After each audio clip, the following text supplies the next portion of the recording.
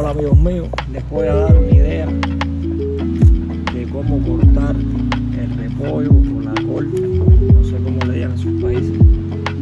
Eh, muchas personas la, arrancan completa y honestamente no se los recomiendo.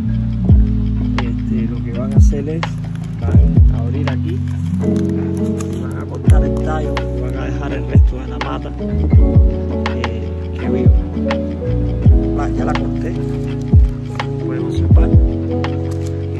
así.